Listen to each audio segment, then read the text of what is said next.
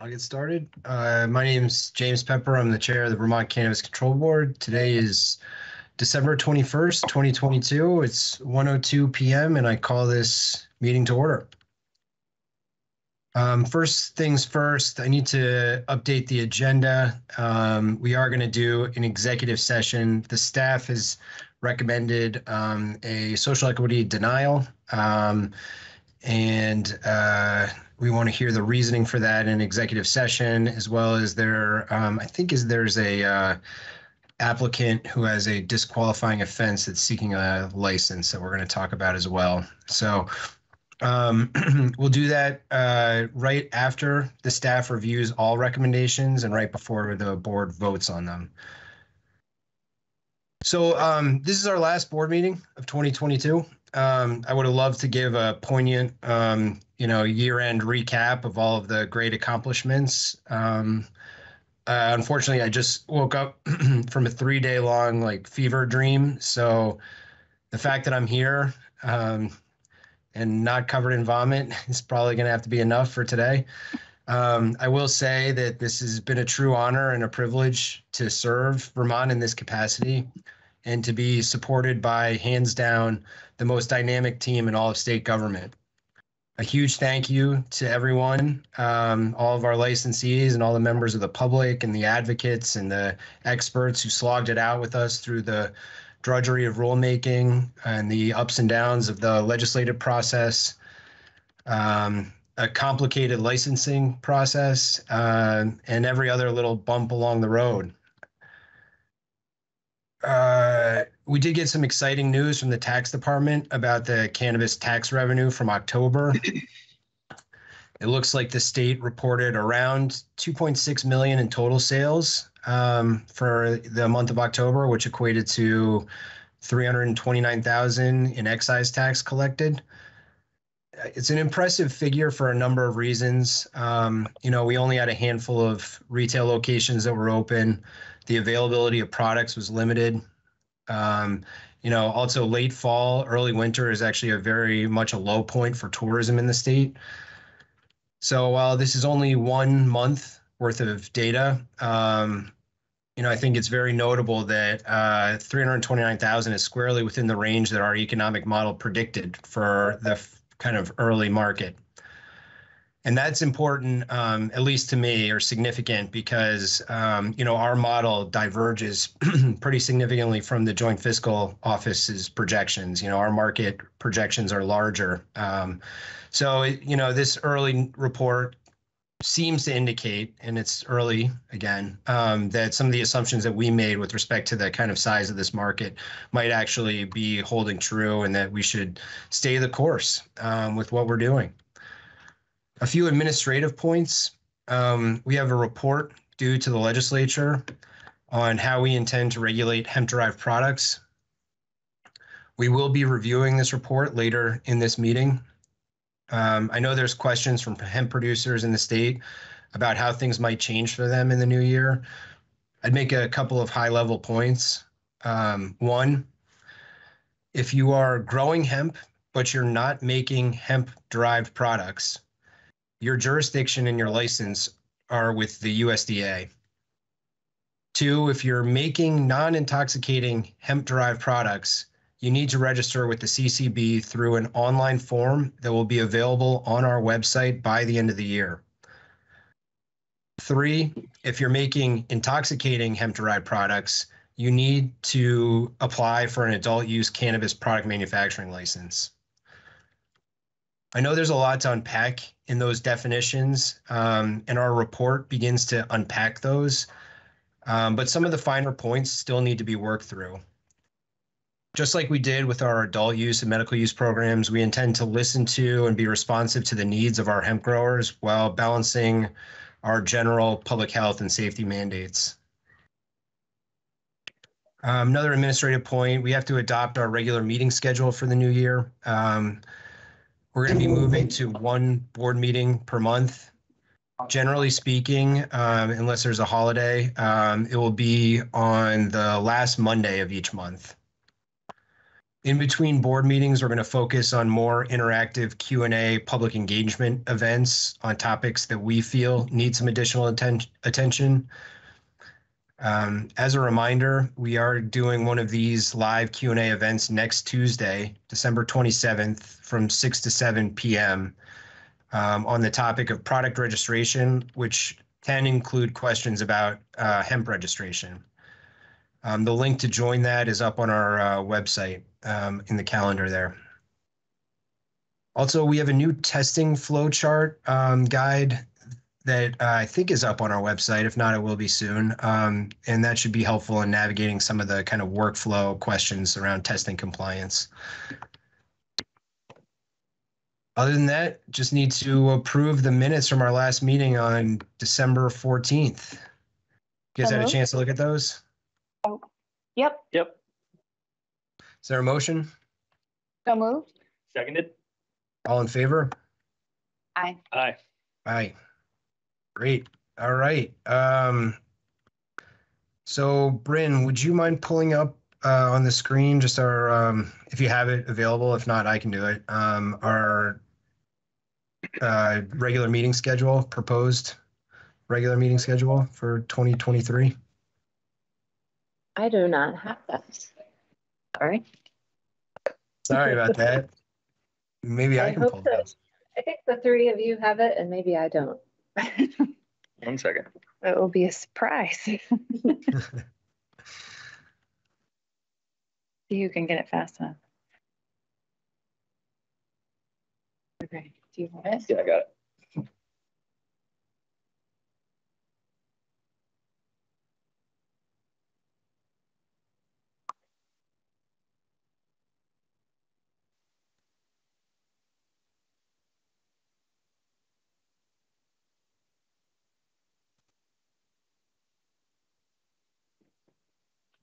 So um, this is a half year. This essentially gets us through the legislative session, um, at which point we can kind of reevaluate whether this once a month is working or whether it needs to be more or less frequent. But I think this is a good approach for at least the first half of uh, next year. Is there a um, motion to approve the regular meeting schedule? So moved? Seconded. Any discussion? No, I think except for the folks wondering at home why Monday, um, the legislature meets Tuesday to Friday. So, so we can all be here if there's other obligations. Yep. Great. All right. All in favor? Aye. Aye. Aye. Okay, Bryn, are you prepared to walk through this another major report? Yes, I am. All right, great. Make sure I can share my screen. There we go. It worked today. Good. so um, this report uh, is, I'd just like to emphasize that this is a draft report to the legislature um, on, as the chair mentioned, how the Vermont Cannabis Control Board is recommending that we regulate um, the hemp industry. So um, this is subject to change. This report is due on January 15th. Um, and so it may change before we submit it to the legislature. Um, starting with the overview, um, we've got, we start out with the legislative uh, requirements for the report. Um, we go into some findings and recommendations. Um, the report gives a national overview of um, where other states are in regulating this process, and then a proposed regulatory structure, some fee and budget recommendations, and then at the end, some other recommendations. So this is um, the legislative language that requires the report found in Act 158. the report is due to, I think, four standing committees, and it's um, covers recommendations on what hemp products the CCB would regulate, how those products would be regulated, registration fees um, associated with the regulation, and then any resources that are required um, by the board to regulate um, the industry. So we've got um, some other legislative language that also sets out the board's authority over hemp products. Um, and that this slide and the next slide. I won't go through all of this language, but um, I will point out that um, the legislation does give the board the authority to adopt rules um, to administer its hemp program um, and also gives explicitly gives the board the authority to regulate synthetic cannabinoids and hemp derived cannabinoids, including delta 8 and delta 10 THC. So I'll move on to some key findings and recommendations. and these, the this set of slides is really intended to um, provide some background information, some education to the legislators um, for who this, from this subject matter area might be new. Um, so we start out with the Farm Bill, um, a little back uh, background about the 2018 Farm Bill that exempted hemp um, from the Controlled Substances Act. Um, and when it did that, it also expressly preserved the FDA's authority to regulate hemp and um, hemp products. So, um, so far, only a few hemp-derived ingredients um, have been approved for the safe use in food or dietary supplements. Um, and none of the intoxicating or synthetic cannabinoids that are commonly found in hemp products um, have been approved for retail sale. So really, despite um, the FDA's authority to regulate these products, um, there's only been a handful of enforcement actions and only when uh, the manufacturers or the businesses were really making pretty egregious claims about their products. So that leads to um, that lack of enforcement really leads to some consumer confusion because it means that these products um, are appearing on the shelves next to um, more natural cannabinoid products um, like CBD products. And um, that can lead to some confusion between what is what and um, and there is a real lack of education over the different types of effects that these products would have um, versus the more natural CBD products that are found on the market. So this slide provides um, an outline of the recommendation for um, products that the CCB is proposing be limited to um, the regulated cannabis market. So given that there's a real lack of federal government um, enforcement, uh, the CCB is proposing that all intoxicating hemp products, um, which are defined, and this is um, the same, this is these are the same parameters that were set out in the bulletin um, that the CCB issued on the hemp to, towards the hemp industry in November. So intoxicating hemp products, which would be defined as consumable hemp products with a milligram or more of THC per serving or more than 10 milligrams THC per package um, would be required to be sold through the adult use and medical markets and would be subject to the same um, regulations that um, high THC cannabis products would be subject to, including product registration. So a caveat to this is that full spectrum tinctures, capsules, and salves um, with up to one and a half milligrams of THC per serving uh, and a ratio of THC to CBD of 1 to 20 or greater would be considered non-intoxicating and therefore would not be limited um, to retail sale only in the adult use and medical use cannabis market. Um, so these products that we are calling intoxicating consumable hemp products um, would only be allowed to be sold through licensed retail establishments and dispensaries and um, as I mentioned earlier, subject to the same regulations um, as high THC cannabis products.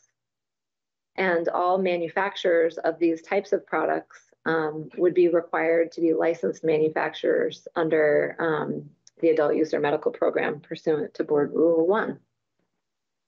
So we'll get into this um, in a little bit more detail later on, but that's an overview.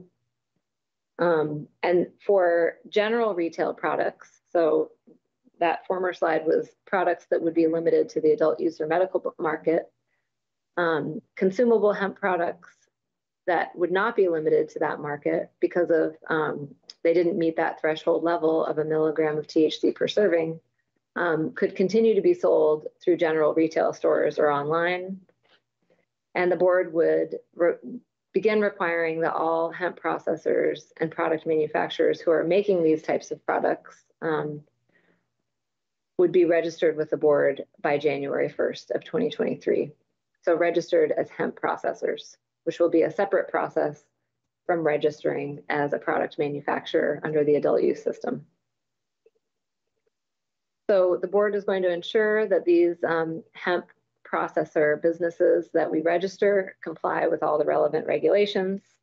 Um, but we are proposing that additional enforcement may need to be taken by other government agencies and law enforcement to ensure that general retail locations um, only have approved hemp derived products like CBD products on the shelves and aren't offering any intoxicating products um, as defined in the earlier slide.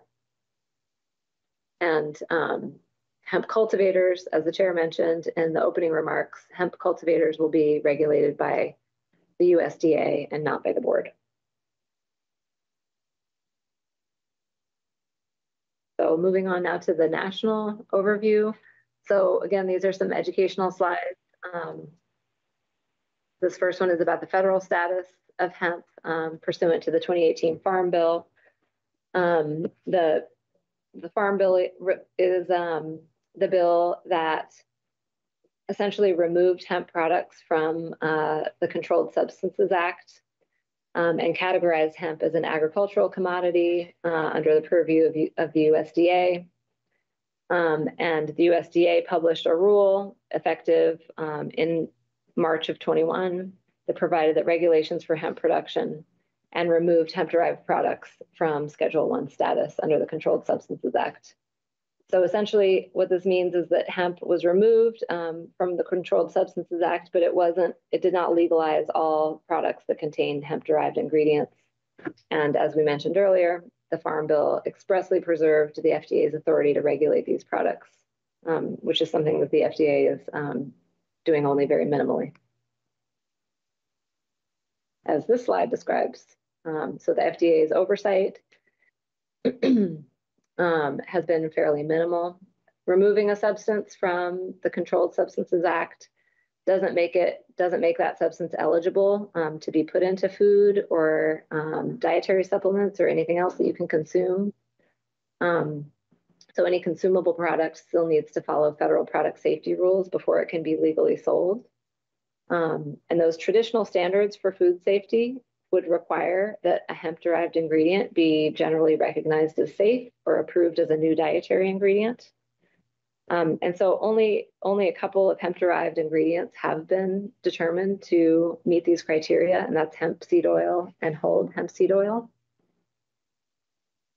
So this last paragraph here describes CBD as exhibiting some of the characteristics of products that would be determined to be generally recognized as safe, but the intoxicating cannabinoids um, or synthetically derived cannabinoids would not be, have not been approved and really don't fit the profile of the types of products that would be approved.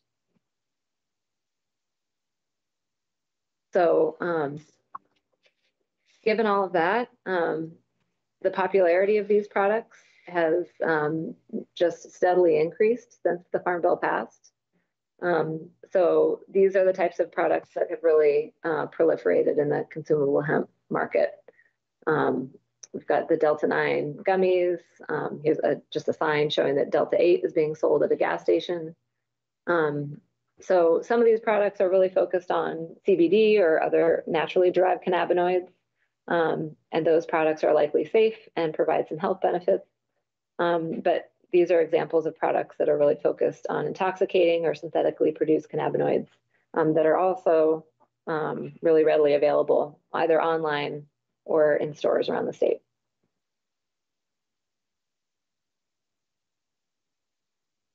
So another educational slide, um, just describing how THC and CBD are kind of the most well-known uh, cannabinoids within the cannabis plant, but there are um, well over 100 other cannabinoids that are contained in small amounts, and we really know very little about those cannabinoids. Um, and natural cannabinoids like Delta 9 and CBD have been consumed um, by people throughout history. But those novel cannabinoids, the ones that are um, naturally occurring in small amounts in the cannabis plant, um, can be extracted from the plant now and isolated or manufactured by converting CBD into other um, minor cannabinoids. And some good examples of that are Delta 8 and Delta 10 THC products. Um, and these are the types of products that are infused in food and dietary supplements. Um, and they, because they have not been consumed um, by humans before in history, we really don't know the health impacts that they could have. So because there's a proliferation of these types of hemp products, um, there is a concern that there is a growing health and safety issue um, that people have access to these products and are using them. So uh, this slide puts forth that the most pressing problems are that these intoxicating cannabis products are available outside the regulated cannabis market, um, where they are not subject to any of the regulatory standards that the board imposes. So they could be sold to um, kids, um, and they are not subject to the testing requirements, etc. Many of these products are created by using unsafe manufacturing processes um, that can leave residual solvents behind in the finished product. And um, these types of products that are either dangerous and or intoxicating are found on the shelves right next to other more natural products like CBD, and that can cause confusion.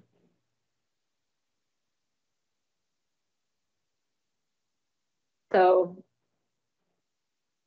as mentioned earlier, many of these uh, hemp processing businesses are really taking advantage of um, the fact that hemp is has been removed from the Controlled Substances Act, um, but is not being very heavily regulated by the FDA. So a number of these products are available. Um, they're being shipped all over the country. Um, and the FDA has really taken a limited approach to enforcing the regulations um, that would keep them off the shelves.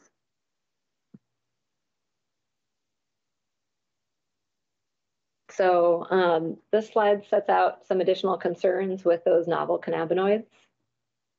Um, so there's, this is kind of a reiteration of what we talked about in the earlier slides. There's been significant public health concerns um, that have, that are due to these consumable products um, being available on the shelves.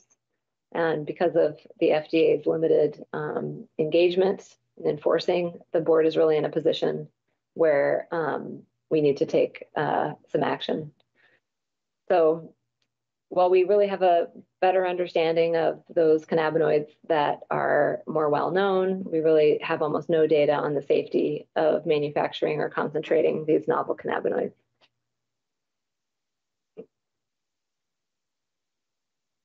So this slide demonstrates the size of this intoxicating hemp market. Um, so data from Colorado shows that Delta 8 is already a $500 million industry and expected to grow um, significantly next year.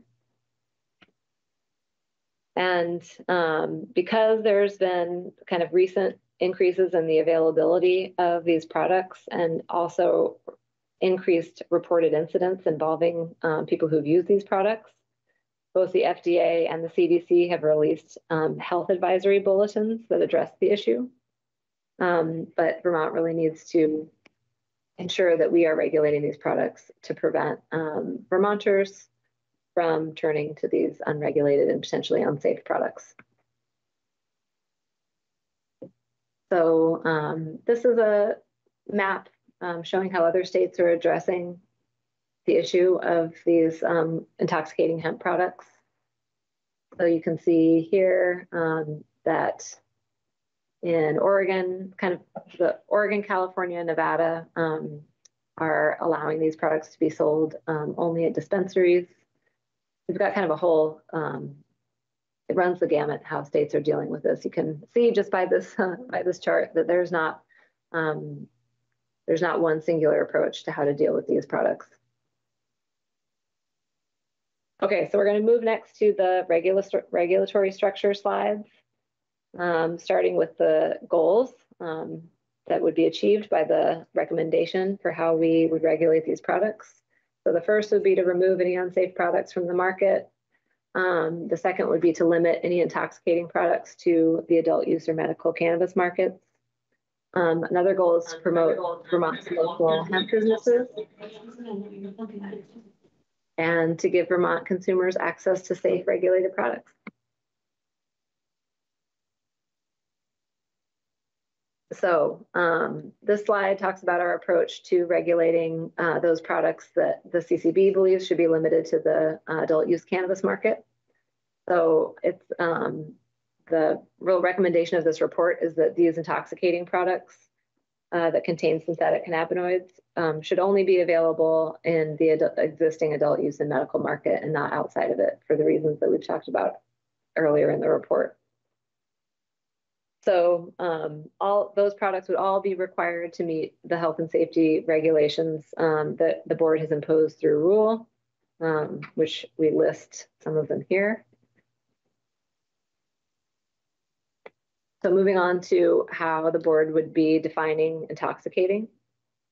Um, so this is kind of a reiteration of what we described in the beginning of the report. Um, the board is initially going to deem a product intoxicating if it contains more one milligram or more of total THC per serving or more than 10 milligrams per package. Again, that would be subject to the exception um, for products that are uh, full spectrum tinctures, capture, capsules, or salves. Um, and those could go up to one and a half milligrams of THC per serving as long as they are full spectrum and maintain that ratio of um, THC to CBD that's 1 to 20 or more. So those are the products that would initially be considered to be non-intoxicating and would be um, allowed to be sold in the regular market. And um, this calculation may need to be adjusted um, as time goes on, as more research um, is developed and as, um, as we hear public input as well. So any product that would be deemed intoxicating would only be eligible um, for production and sale through the adult use or medical market. So if you were a manufacturer who wanted to manufacture these types of products, you would need to get a manufacturing license um, from the board. Or if you wanted to sell these products, you would need a retail license. So this slide provides some information about the definition of synthetic. Um, so the plan is to define synthetic cannabinoid as a cannabinoid-like compound that was produced using chemical synthesis, chemical modification, or chemical conversion, including in vitro biosynthesis and bioconversion of any method or type except for those produced through the decarboxylation of naturally occurring cannabinoids from their acidic form. So any product with a milligram or more, this says more than one milligram, it should say one milligram or more of a synthetic cannabinoid per serving would only be eligible for production um, through the adult use market, where it would need to meet all of those manufacturing requirements and be approved by the board through product registration before it was available to consumers.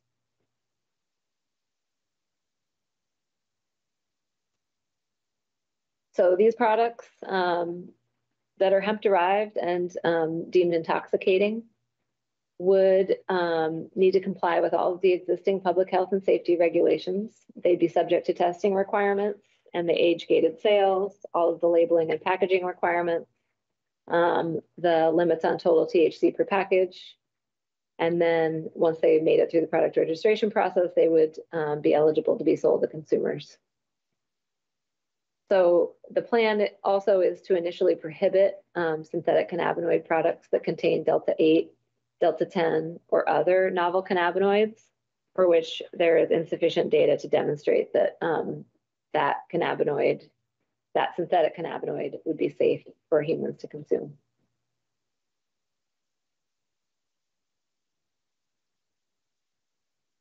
Um, product registration, this just sets out that just like everything else, these um, hemp products that the board is deeming would intoxicating would have to be submitted through the product registration process so that we could ensure that it meets all of the requirements of the rule um, and then be eligible for sale on the adult use market. And they wouldn't be available anywhere else. So this slide covers the approach to products that would be allowed in the general retail market. So those hemp derived products that are um, not considered intoxicating um, and that don't contain more than a milligram of synthetically derived cannabinoid uh, would be available for purchase on the regular retail market um, and online. And as I mentioned earlier, the board will begin registering hemp processors who would intend to make these types of products um, in January of 23.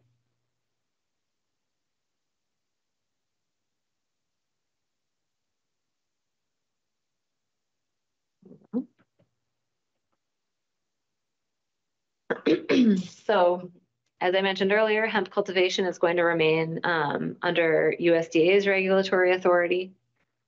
Um, and we, it's the board's position that that, um, that the USDA would be, um, the USDA's uh, oversight of the hemp cultivation industry would be sufficient and actually allows more focused resources on consumable hemp. Um, and it also decreases the burden um, on Vermont and allows Vermont to focus on areas where we have regulatory discretion.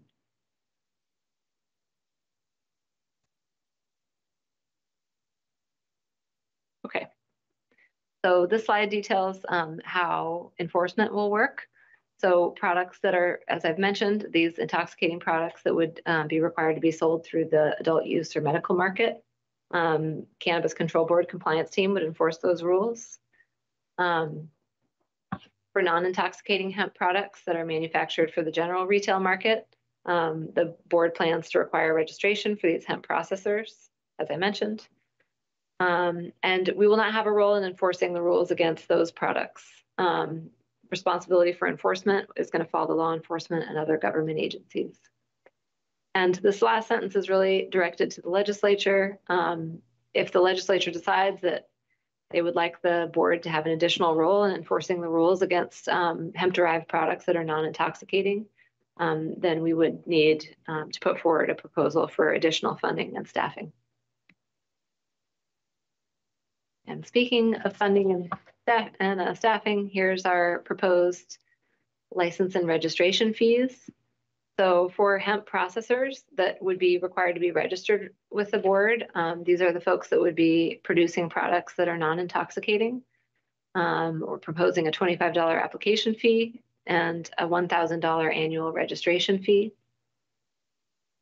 Um, and for hemp manufacturers that intend to produce products with a milligram or more of THC per serving, um, those folks would be subject to the existing fees that are set in statute for cannabis product manufacturers.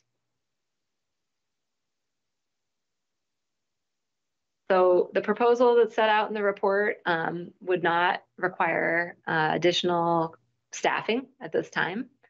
Um, we're proposing to be able to do this type of regulation without additional staff.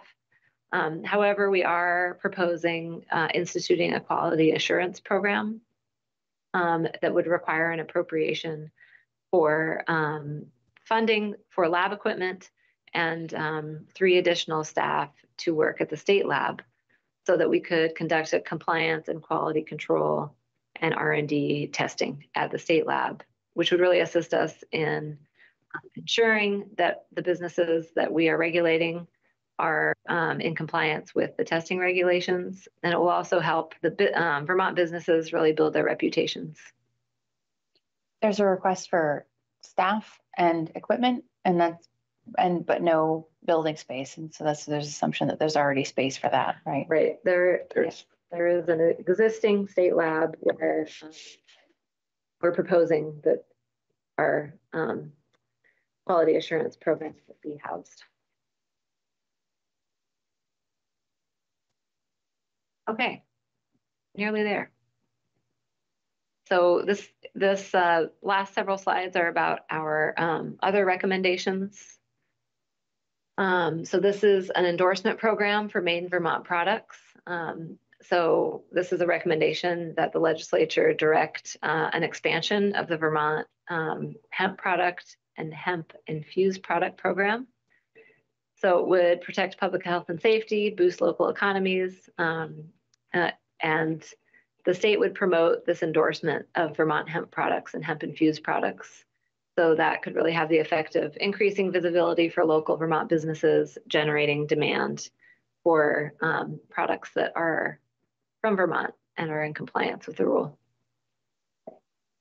So the proposal here is to develop a simple registration process that would result in a state-approved endorsement um, that retailers or product manufacturers could use on their products and would allow consumers to make a more educated decision when they're purchasing their products.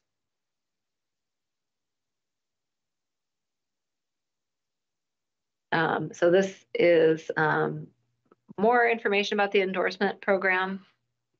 So the MAPLE program is really the model um, here. So program staff could conduct periodic in inspections um, of these hemp producers and hemp products, similar to how the MAPLE program runs. Um, and the outcome would really be something similar, where uh, Vermont products add an endorsement that could really help with marketing and give consumers um, a sense of security about what they're consuming. So here are some other programs in other states that are similar to the Vermont Maple program. So Buy Colorado is a program that promotes state companies um, and the state's repu rep rep reputation. Um, New York has a New York State Grown and Certified program that makes it easy for people to identify um, New York products and Wisconsin has a Something Special from Wisconsin program administered by the Wisconsin Department of Agriculture. Um, so these are all examples of other states that have done something similar. Okay, so the next recommendation is to create a public awareness and educational campaign um, that would encourage consumers of these types of products to um, purchase products that have been vetted by the Cannabis Control Board. Um, so really, this uh, campaign would about be be about steering people towards the regulated market, um, so that people could be assured that um, the products that they're using have um, met all of the regulatory requirements of the Cannabis Control Board's rules. So a proposal to develop outreach and educational programs that's really designed um, to inform consumers about the difference between um, these unregulated products, um, potentially intoxicating products, and then um, safer products like CBD. And um, should educate consumers on the dangers of consuming products that are not regulated. And then this is really um, a recommendation on enforcement to work with other agencies and really properly fund enforcement actions um, to ensure that non-compliant products are not available. So as we mentioned earlier, lots of hemp producers are, are making products that are potentially intoxicating, um, selling them online. And though the board really has limited control over what's um, sold online, we can control what's sold through our licensees, um, our licensed stores, um, but the board is not going to be in a position to enforce rules against um, convenience stores, unlicensed outlets that might be selling these unregulated products. So ensuring that um, that proper law enforcement is in place to do that um, regulation is important. And then I think lastly, or almost lastly, um, this is a recommendation to clarify that the tax um, on e-cigarettes doesn't apply to cannabis products.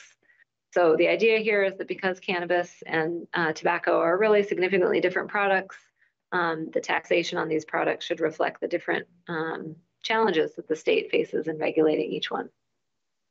So recommendation that the legislature clarify that cannabis products, including um, vape cartridges, are not subject to the 92% tax rate on e-cigarettes.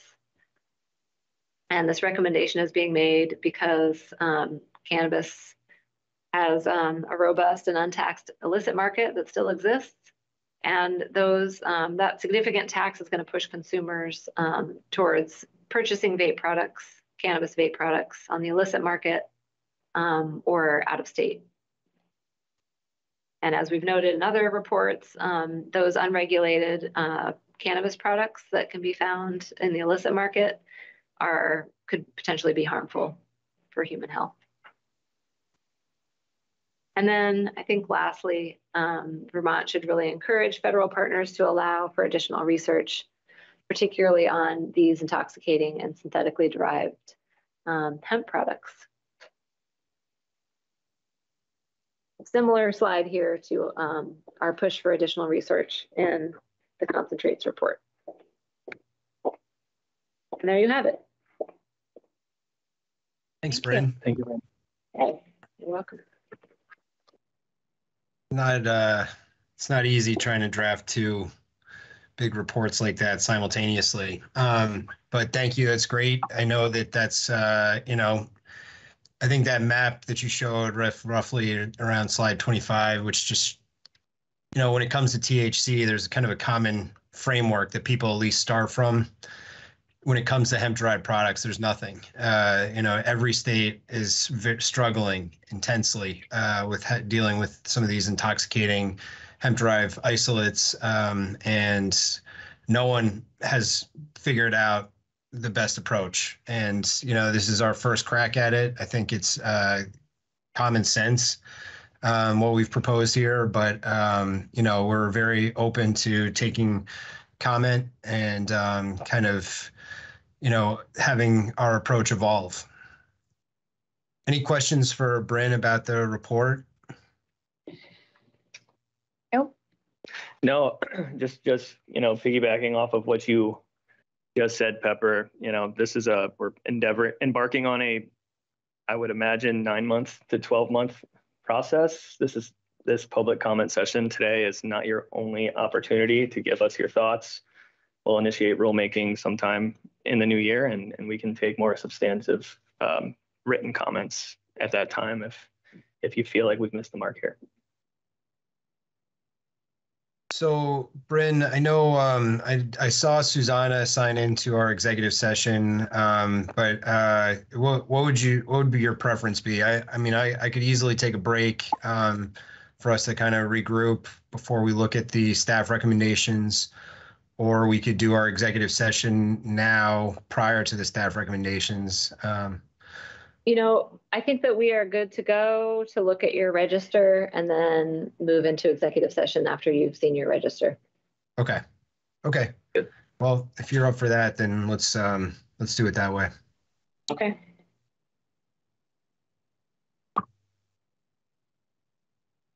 I'm here.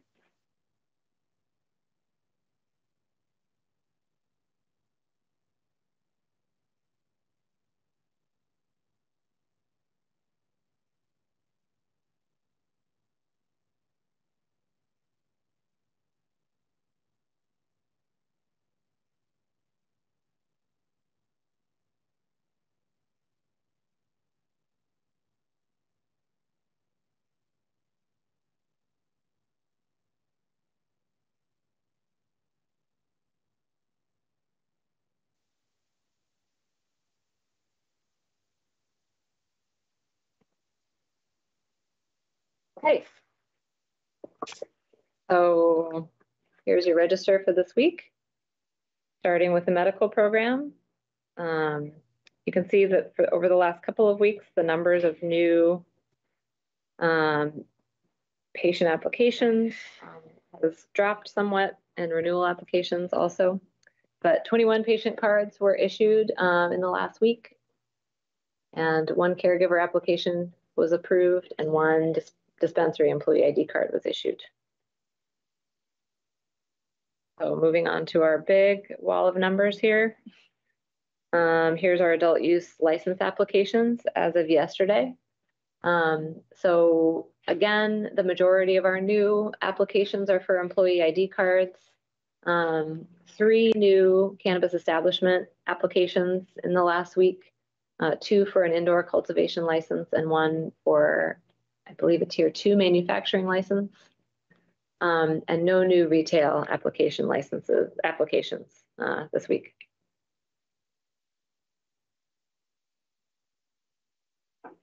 So we're continuing to see that um, slowdown in new establishment applications.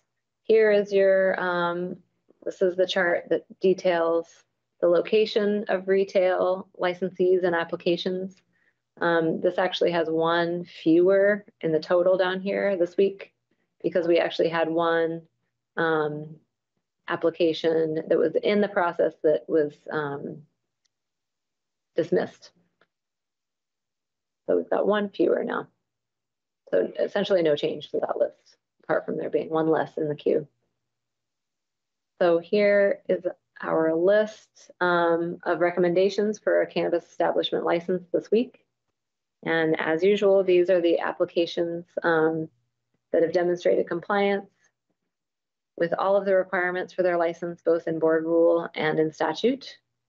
So our list this week is Canna Cultivators Collective that has applied for a mixed tier one cultivation license.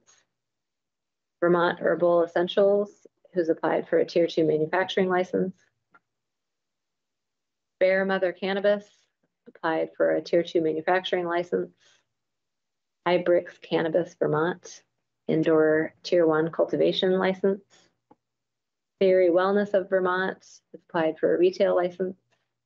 Mary Jane Mountain, also a retail license. Hidden Door Cannabis has applied for an indoor tier one cultivation license. 802 Pharmacy has applied for an indoor tier one cultivation license. And Green Union has applied for a retail license. So that is your list for this week. We've got nine up for approval this week. Um, here's an update on our license amendments. I think we have a few more in there.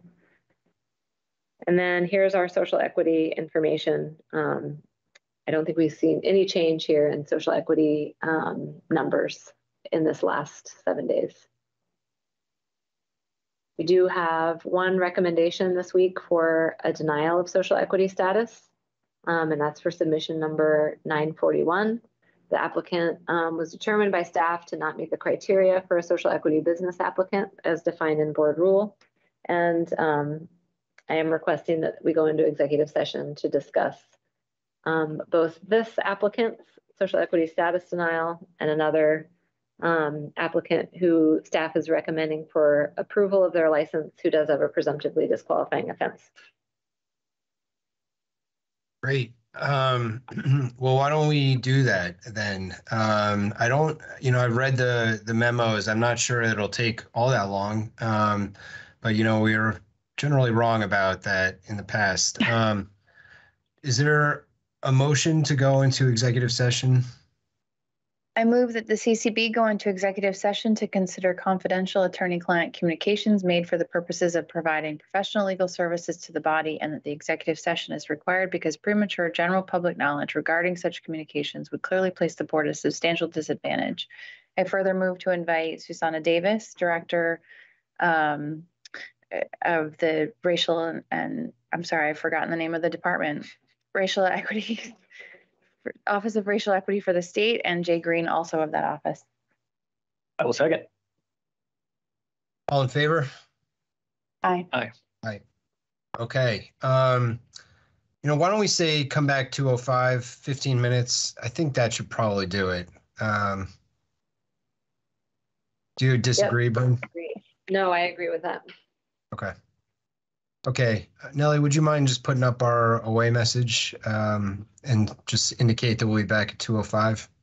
Can do. All right, thank you. Great. All right, then um, let's resume this meeting. Um, it's 1:59. Um, just got out of executive session.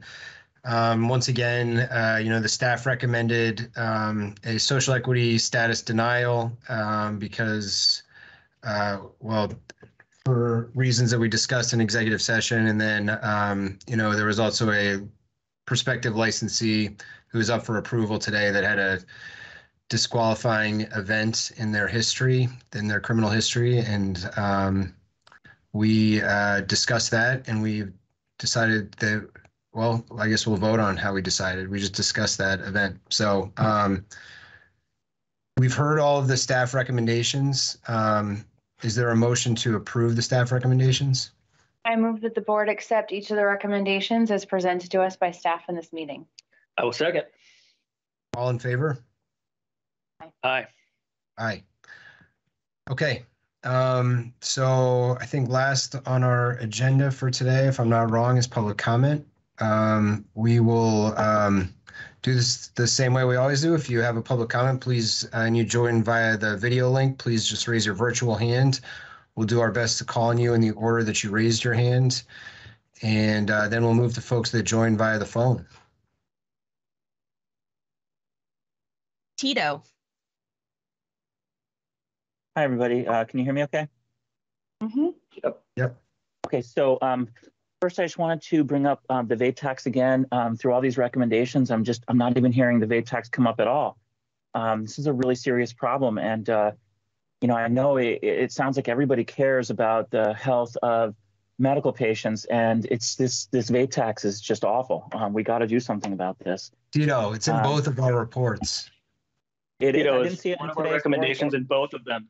It's it's called the tobacco products tax, and it's it's recommended that we remove it for cannabis products in both reports. Oh, great. Okay, thank you so much. I apologize for not seeing that.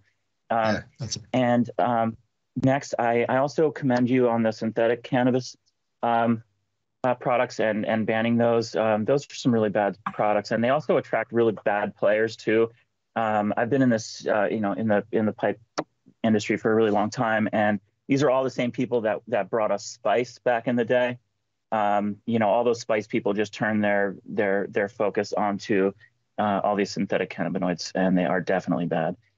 Um, and then lastly, um, I just I just beg you guys to meet before the end of January. Um, we were uh, here at Burn. We were so close. Uh, I, I was hoping to see an approval today, um, but it looks like the inspectors really want to see every single last detail finished, even finished paint. Um, you know, uh, we, we you know we don't have the finishing touches which we're putting on right now, but now um, you know we'll have to wait uh, you know five weeks essentially before we can uh, be moved through the process. So if there is any way you can meet before that, that that would be amazing. Um, thank you guys all so much for your hard work. Tito, is that? Can I just ask you quickly? Is that our inspectors or is that the kind of local fire safety folks? No, that's your inspectors. Okay. So basically, uh, we're com- we're we're completely ready. Um, the only thing we don't have done is the finishing paint job and the actual stone countertop, which we're putting onto our our counter wall. Um, but that's it. Everything else is done. You know, we we have our our safe, we have our Dutchie installed and ready to go. Um, and um, we we did have some issues with the front window, but it looks like we did we're able to um, to all agree um, that that products will not be visible from the street. Um, and uh, and the counter wall, which had to be completed, which I understood, but you know that wall was is definitely completely done.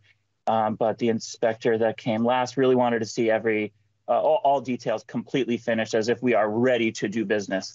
And uh, we acknowledge that we're not going to uh, be able to start selling cannabis right away, uh, but but just to be approved to just keep moving through the process so that we could. Uh, you know, just keep things moving. And of course, there's a lot of stuff we have to do before we can actually open. We have a couple of weeks of buying and, um, and and stuff like that. So you know, we're just so so eager to move through this process. Um, I quit blowing glass seven years ago to move on this journey, and uh, and the finish line is just I'm like the donkey with the carrot. It's just always right in front of me. The finish line is right there, but the, it just keeps moving and moving and moving endlessly. Um, uh, and, and I just would love to see that goalpost stop so we can just move through the next phase. Thanks, thanks, Tito. Thank you, guys. Keith.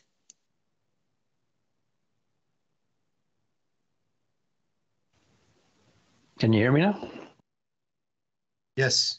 Hi. So one quick one is just when can we get these slides that you showed today on the hemp?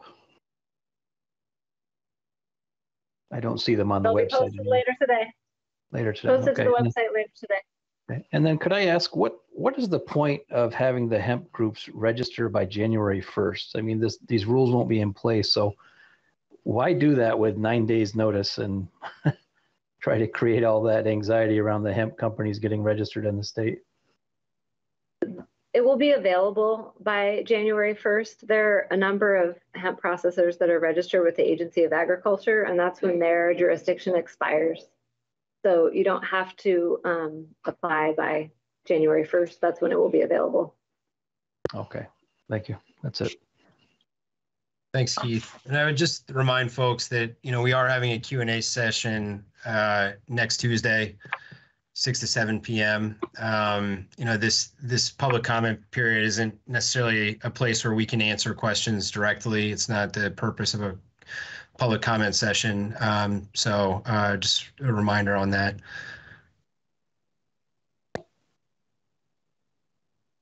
Jason. Hi, good afternoon. Thanks. Uh, appreciate it. Can you hear me? Yes.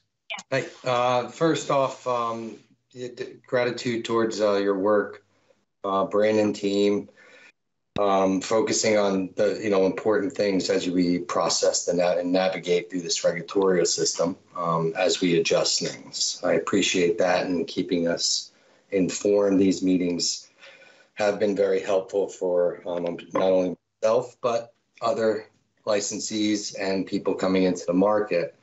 Um, this is not a criticism, just just uh, possibly a recommendation um, as you build uh, sp- specifically for the hemp, but also with um, cannabis related in the whole. Uh, possibly um, adjusting the language to be a bit more accurately describing the medicinal effects of cannabis slash hemp um, derived products to use uh, psychoactive versus uh, intoxicating. Um, due to the nature of, we're talking about small percentages from topicals, which generally are not intoxicating nor psychoactive, whatever term we use. Um, just maybe that's just a recommendation on the building of of this um, uh, this regulatory uh, adjustment uh, to present to the to, to the, the, legislative process. Um, and that's all I have to say for now. And I appreciate your time. And I think we will all miss the weeklies. Um, I hope that it brings a little peace of mind that we're getting um, a few more steps uh, forward. And, um, you know, I uh, look forward to the monthlies uh, because I think it's been very helpful for a lot of people just to understand language, have uh, you know face to face to face, if you may. Um, uh, and I appreciate it, guys. And uh, James, hope you feel better. Thanks. Bye. Yeah, thank thank you, Jason. Robert. Hi, just a real quick question. Uh, what is the status of the map that has all the locations that is not currently up on the uh, licensed page.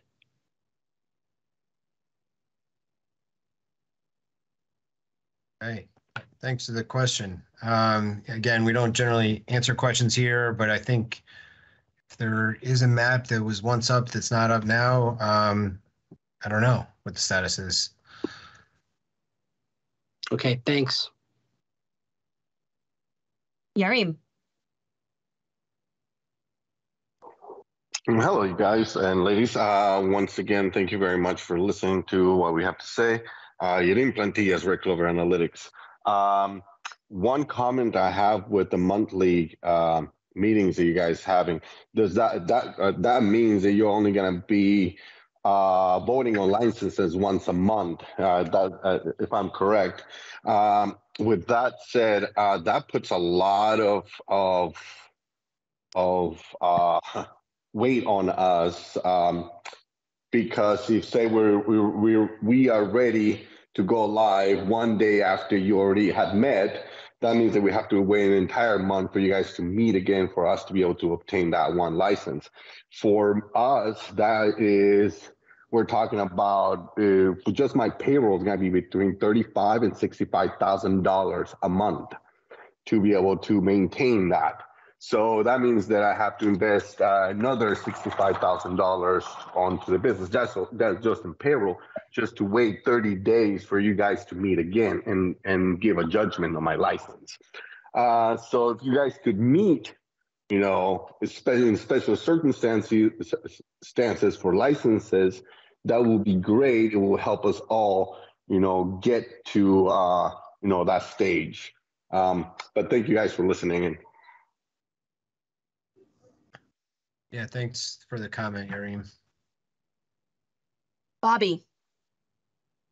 Hey, good afternoon. Thanks for having me. Uh, I wanted to echo some of these concerns that Tito and Yarim just mentioned. Um, you know, I know a number of hopeful licensees that are just at that finish line. A number of them have been, you know, dealing with some moving goalposts.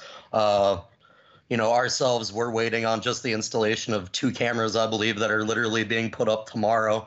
So uh, a five week lead time to, for approval is it's really rough, especially with the uh, you know, delays we're going to see with packaging approval and product registration and not being able to really accurately start those processes immediately. Uh, you know, that's going to have us not having product on shelf until March, April at the earliest. And that's just, it's quite the fiscal burden on us. Um, so I'd like to encourage you to re- reconsider that or at least make some sort of uh, workaround. I acknowledge that y'all are super understaffed and overworked, but uh, I think there's some equilibrium to be had here. Uh, thank you. Feel better, Pepper. If you want to shoot me your address, I'll get you some Jewish penicillin. I'm always ready. Thank, thanks for the comment. Marie. Um, Oh, sorry. No, no, Marie, yep. You know, it's ironic. I was just gonna gonna say I think a blueberry strain would do you well right now. So look into it. Um, but I also have to to comment and say, I love love love the jumper, or would it be the ugly Christmas sweater? The lady in the back had the red, with all the little balls hanging off. of it. so, uh, and lastly, I thank you for everything you did this year. It's been a long, long hell of a ride for all of us. You've done great. Don't listen to any haters you guys are awesome and i appreciate what you've done especially coming from uh, my old stomping grounds in new york i see what they're doing and it looks it looks like a headache and a half that i wouldn't want to touch i love what vermont's doing you guys are doing a great job happy holidays guys Thanks, Marie. Dave. Hey, all, uh, James, you, you sound terrible and you should really not be here today. Um, the real comment though is, I mean, like you should rest and, and, you know, take care of yourself. Um, but the real comment is um, echoing on, on, on Tito. Um, you, you know, the monthly meetings does, does cause some pause. Uh, you, you know, I've got a client who's been in resubmit for about a week. This morning we got um, a, a notice from staff saying a couple of things were missing, but those things actually were in the application already, and they're there. Uh, but there weren't they weren't on. But the client didn't make it onto the list today, even though they really ought to have. And now the client is going to wait a month, and that's very frustrating. Um, you know, it's actually he's going to end up waiting six weeks. Um, and, and, so that's very frustrating. Uh, and and I and I hope that you guys can figure out something uh, that maybe could speed the process along. Uh, you, you know, my view is your staff generally does you know, outstanding work. They do a lot of work behind the scenes that nobody really sees. And so, you know, we want to recognize and honor that. Um, but sometimes mistakes do get made. And when you can't correct out those mistakes quickly, I think that's going to lead to just growing frustration. Um, and, you know, that'll spill over in all sorts of ways that none of us want to see. Um, so um, those are my thoughts. Thank you for listening. Thanks, Dave.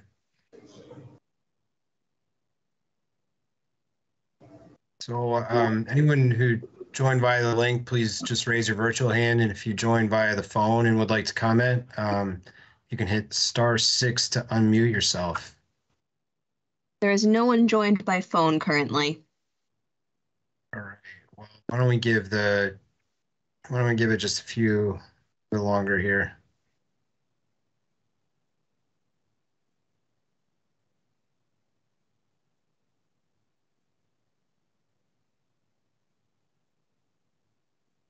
All right, I'll close the public comment window. Um, thank you, everyone who joined. And again, I really, truly appreciate everyone who joins these meetings and gave us comments, feedback, you know, support, advice, counsel um, throughout this process. 2022 is a big year for Vermont. Um, and, uh, you know, hopefully we can just continue to improve the program in 2023. Any uh, concluding thoughts, um, Julie or Kyle? Um, I would echo all of that. It's been a long but productive year. There's dozens of holidays that folks out there are celebrating right now. So whatever you're celebrating, I hope it brings you joy. I don't have much to add after you know both your statement and, and your statement, Pepper. 2022 has gone by very uh, quickly, at least from my corner of the world. I think time's an interesting thing these days, but so much has been accomplished in 2022 and look forward to seeing everybody in 2023. Thanks for joining.